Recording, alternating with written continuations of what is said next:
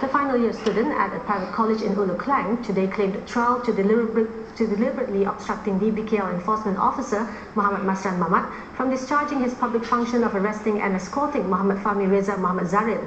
The offence was committed at around 8 a.m. yesterday at Dataran Merdeka.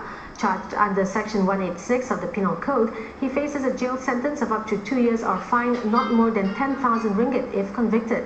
Magistrate Zaki Ashraf Zubair set bail at 1,000 ringgit and fixed May 8 for mention. Canteen owners who failed to meet the